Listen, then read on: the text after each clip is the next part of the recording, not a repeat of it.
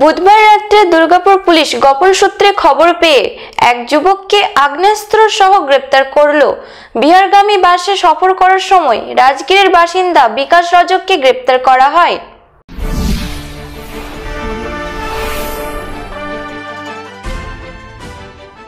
বুধবার রাত্রে বিহারগামী যাত্রী বোঝায় বাস থেকে দুর্গাপুর পুলিশের হাতে গ্রেপ্তার আগ্নেয়াস্ত্র সহ এক যুবক। ধৃতকে বৃহস্পতিবার তোলা হয় দুর্গাপুর মহকুমা আদালতে। দশ দিনের পুলিশ হেফাজত চেয়ে আবেদন করেন। ধৃত যুবক বিকাশ রজক বিহারের রাজগীর এলাকার বাসিন্দা বলেও জানা গেছে। বেশ কয়েক বছর ধরে দুর্গাপুরে ভিরিঙ্গি চাষিপাড়া এলাকায় বিকাশ রজক আত্মীয়ের বাড়িতে মাঝে মধ্যে আসতো বলে পুলিশ সূত্রের খবর। এলাকায় মঙ্গলবার রাতভর তল্লাশি চালিয়ে হুগলির পান্ডুয়া গুলিকাণ্ডের মূল অভিযুক্ত সুরজ সিংকে গ্রেপ্তার করা হয়। সেই অভিযানের পর বিকাশ রজক নামের ওই যুবক ভিড়িঙ্গি চাষিপাড়া এলাকা থেকে আগ্নেয়াস্ত্র নিয়ে বিহারের উদ্দেশ্যে যাচ্ছিল বাসে করে। তারই মধ্যে গোপন সূত্রে খবর পেয়ে ফরিদপুর ফাঁড়ির পুলিশ ওই বাসটিকে ধাওয়া করে।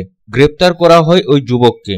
বাজেয়াপ্ত করা হয় সাতটি কার্তুজ সহ আগ্নেয়াস্ত্র বিগত কিছুদিন ধরে চাষিপাড়া এলাকা থেকে একের পর এক দুষ্কৃতী গ্রেপ্তার হওয়ায় প্রশাসনিক মহলে চিন্তার ভাঁজ পড়েছে ধৃত বিকাশ রজককে পুলিশি হেফাজতে নিয়ে তদন্তের গতি আনতে চাইছেন পুলিশ दुर्गापुर থেকে সাধন রুজের রিপোর্ট পাবলিক টাইমস प्रकृति के अनोखे उपादानों से बनी हनुमंत आटा असली चाना बेसन उत्तम दर्ज का दलिया स्पेशल मैदा, चने से बने विशुद्ध सत्तू, स्वादिष्ट सूजी और परिशुद्ध चीनी, यानी स्वाद और प्यार की कंप्लीट पैकेज